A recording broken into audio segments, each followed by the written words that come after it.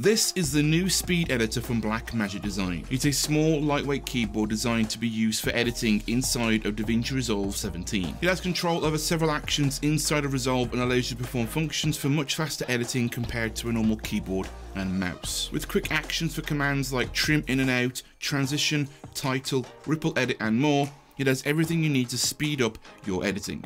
Also, they say, I've been using the speed editor inside of Resolve to really give it a go over the past week or so and to give you guys my honest opinion about it. As someone who's never really used a device like this, I really wanted to see if this could speed up my editing. And along with that, compare it to products in a very similar category and price range that have been used for editing like the Elgato Stream Deck and the Loupedeck Live. And I should also mention and clarify that Blackmagic Design did send me this unit to review for this video. However, they are not paying me to make this video. This is a completely open, honest, unobjectively unopinionated review of what I think of the Speed Editor. Well, that's it and done. Let's dive in and talk about my initial impressions of the Speed Editor. The Speed Editor is available from Blackmagic and its retailers for £235 and 295 US dollars. And one awesome thing about this device, for a short time you can actually buy a copy of Resolve and get one of these for free. The only company I've seen so far actually promoting this on their website is Adorama, so I've left a link to that product page down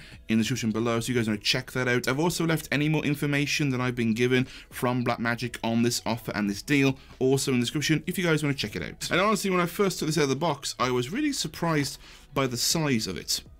Now, Scott, if you put in a, that's what she said, quote, right there and then, I swear, it would be very appropriately put. Good for you. I'm proud of you. I genuinely thought it would be a lot smaller than this. I thought it would be something more akin to the Stream Deck or the Loupedeck Live. But I'm very happy with the size of this keyboard. It feels very well built. It's got a really good enclosure.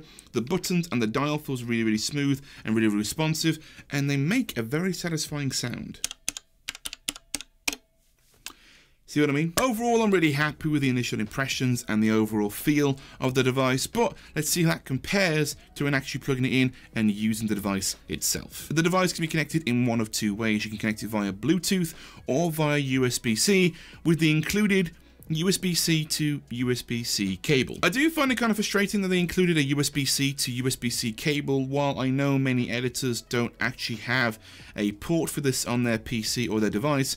It feels very much of an oversight by Blackmagic to not include some kind of adapter or an additional cable because for the amount you're paying for it, I feel like it should come with the variety of cables that you might need to use it on any device. But I digress, you can use it via Bluetooth as I mentioned before, and there's a nice handy battery indicator on the device to tell you how much juice is left in there before it starts dying. I have no official word from Blackmagic how long this battery lasts for, however they did tell me they are doing extensive testing and apparently right now it runs for quite a long time. So you should have no problem using the device via Bluetooth if you don't have a USB-C port on your PC. But once you plug it in or you connect it via your PC, you are ready to go because it turns on when you launch DaVinci Resolve 17. There is no on or off button on this device. You start at Resolve and it, uh, it kicks in. It's ready to go. It's also worth noting that this will only work with DaVinci Resolve 17. So if you're using earlier versions like Resolve 16, this device will not work with that version of Resolve. And the main place you're going to be using this device is on the cut page for speedy editing and the controls on the device echo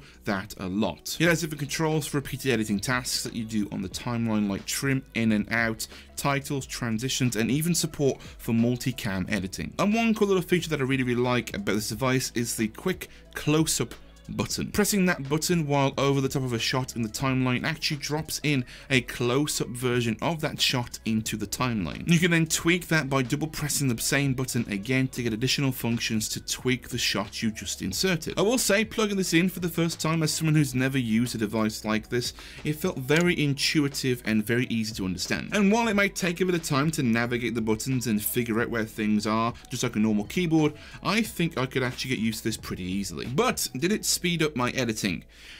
Yes, kind of.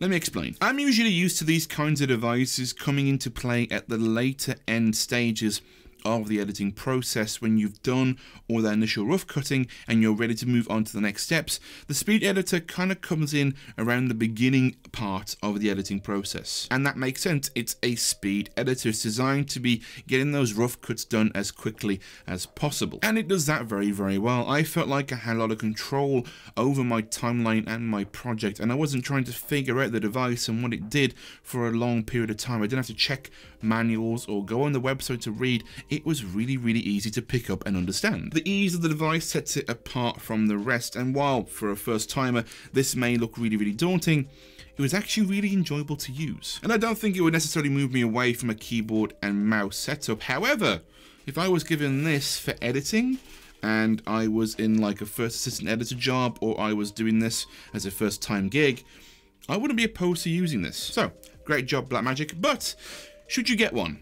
If you use Resolve day in and day out, would this actually make sense for you or would something else fit the bill a lot better. This is something that I was actually genuinely curious about because I've actually used similar products in the past for editing tasks. I wanted to see how it compared to something like an editing keyboard for that kind of stuff. And while I think the Speed Editor is a very specific product and it meets a very professional market, I don't think it's going to be the thing everyone gravitates to, even those who do edit in Resolve. For one, it's only really compatible for editing in Resolve 17 and it's only really useful on the cut page. So if you wanted a device for editing and you didn't use Resolve, what options are there out there and could those options be similar and offer the same kind of things that the speed editor does? So with that question in the air, I thought it'd be a good idea for me to pick up a few extra products that I thought would be good substitutes for the speed editor to use in other applications. And while these devices don't fall directly under the same category as the speed editor, they aren't exactly editing keyboards, they do offer very similar functionality for the kinds of things the speed editor does. And I'm not going to be going into software versions of these products, I'm not going to be talking about Touch Portal or the Stream Deck app you can get on your phone. Those things are separate in my eyes, they are not dedicated hardware for these kinds of things, nor are they physical products. You can use them on anything, so I'm not going to include those in this video, but bear in mind, those are also options you can also consider. But I also want to check out products that are similar in price range to the Speed Editor, so I looked at the Stream Deck, and the Loupedeck Live. But let's start off with the Loupedeck Live, which retails for £229 or $269. Much like the Elgato Stream Deck, the Loupedeck Live offers a customizable LCD button pad as well as physical buttons and dials that are customizable. It also has USB-C integration and actually comes with a USB-C to USB-A type cable. Pretty nice considering that the Speed Editor doesn't actually include one of those cables. It's a really well built device and I feel like it's a really nice solid design. However, one thing I didn't like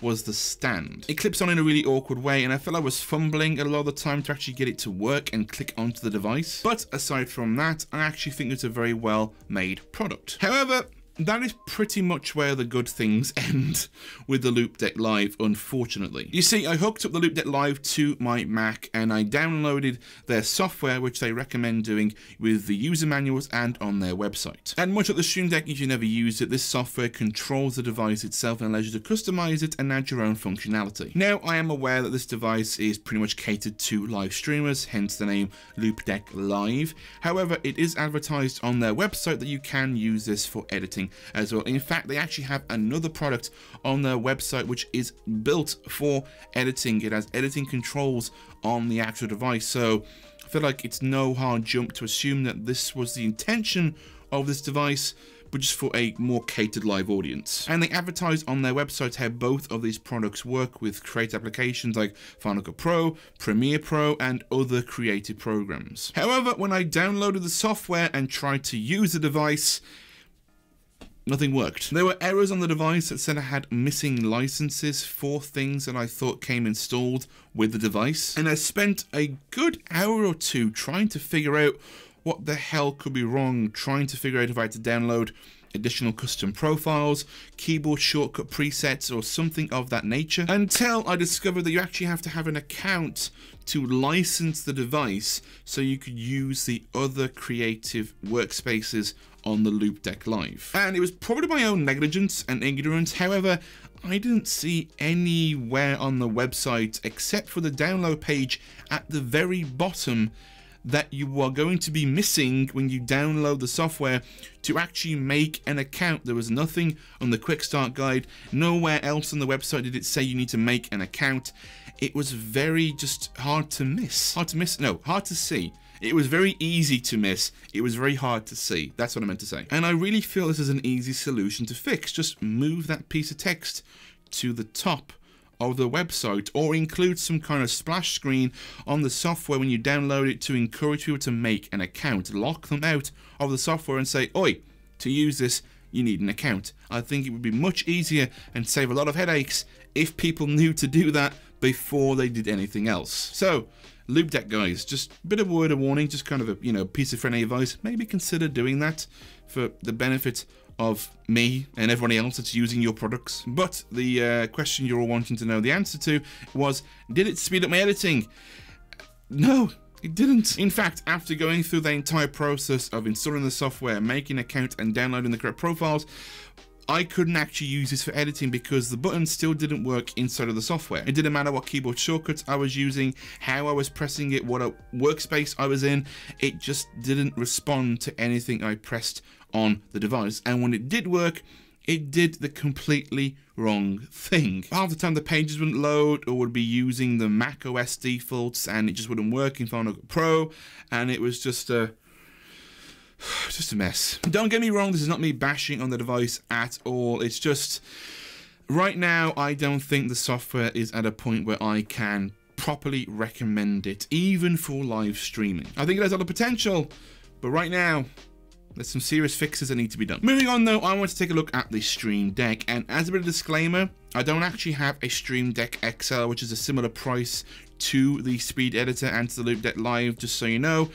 I have the normal sized version of the product. However, it's also good to know that there are different versions of the product if you don't have the budget for a larger end device. Functionality is exactly the same across the board with all of these devices from the mini to the normal size Stream Deck and the XL, just a different size and buttons is the only difference. But aside from that, I think we all know what the Stream Deck is and how it works. It's a device typically built for streamers with programmable and customizable LCD keys to take your streams to the next level. It can also be used for editing and use in other creative applications as is advertised by Elgato themselves. You can even have different profiles, one for streaming, one for video editing, one for photo editing, one for graphic design, and so on. It's a very flexible, versatile product that I have used for a long time and I use every single time on my live stream. It's essentially a large macro and function pad that you can use to assign multiple different actions to, as well as bulk processes through the Stream Deck's multi-action events. And I wanted to see how this device worked inside of my workflow for repeated tasks when I'm editing. And honestly, I use it a decent bit, actually more than I thought I would. It allowed me to extend the keyboard shortcuts that I use on my keyboard that I want to use, but don't have the space or the kind of workflow in place to use them frequently. And and I have to say, after using this for a little bit on my Mac, I think I might actually go and get the 32 key version for editing. And as I said earlier, I can literally go from one application to the other and the profiles will switch depending on the application that I'm using. I can go from video editing to animating and the Stream Deck will know that based on the program that I'm using at the time. And while it may not be the same thing as the speed editor and not have the same kind of functionality for those initial edits, it really did speed up my editing and included more tasks that I wanted to include in my normal editing routine but I just didn't find time to. The Stream Deck really gave me the extra functionality to really master my workflow, and it was very similar to having like the touch bar you see on the MacBook Pros, but having one of those for my iMac, and it just expanded things for me exponentially. So, what are my final thoughts on these devices, and where do they sit if you are looking to use them for editing? First of all, I should mention though, if you are an editor, these devices won't make you a better editor. Sure, they may make you a little bit quicker, but learning the craft and learning how the actual process works will get you far further than just relying on any one of these tools. Focus on telling stories and making the editing as best as it can be and focusing on the craft, then bring these in and then see how far your technique as an editor can develop. But if you are invested in the Resolve ecosystem, I would highly recommend checking out the Speed Editor. If you're looking to actually get the paid version of Resolve, just a reminder you can still get that device for free when you buy a version of DaVinci Resolve. Reminder, The link for that product page is down below. Go check it out. If it's something you're investing yourself into, it's it's a no-brainer really. Go get that get this device for free and uh, really utilize it in your workflow. However for me i found it was only really useful in resolve in the early stages of the editing process. After that the device isn't really that much use after the cut page when you're onto the main editing portion. You then have to go back to a keyboard and mouse. Whereas other devices may not be precise in their editing technique and the things they are doing with that initial rough cut, you might have more granular control and overall longevity when using a different device for editing. I can create macros on the Stream Deck to combine several different functions to be able to speed up multiple tasks and repetitive tasks that I do on a day-to-day -day basis. And I can't really do that on the speed editor. So it really comes down to where you see this fitting into your workflow and where you'll see the most gain from it. And in terms of whether if you're looking to pick up the Stream Deck or the Loupedeck Live, go for the Stream Deck. I cannot, with a straight face, recommend the Loupedeck Live to anyone. The software feels like it was rushed, like it wasn't really thought out, like somebody crammed it together in a day. It feels like some of the features weren't thought out completely. So if you are thinking about picking up a device like this for editing or streaming or even graphic design in general, I recommend any of the Stream Decks in the Elgato lineup. Also, once again, I didn't go into the actual software versions of these apps like Touch Portal or indeed the Stream Deck app you can get on your phone. I didn't want to go into the software version because I felt like it wasn't a fair comparison to a physical device like the Speed Editor and I want to compare it fairly to other devices in a similar bracket. Well, there you go. That is a review of the Speed Editor from Blackmagic. Overall, very happy. I think this is a fantastic device and I think Blackmagic have done very, very well with making something that is intuitive, really easy to understand, feels great, and uh, yeah, I think it's pretty awesome. Also, if you guys have any other questions about this device or indeed editing and working with it in general, then feel free to jump into my Twitch streams. Uh, link for that is down below. Or feel free to jump into the Discord and talk to other like-minded editors, graphic designers, streamers, and so on. Link for that is also down in the description below. And once again, guys, thank you so much for watching. And until next time, take care.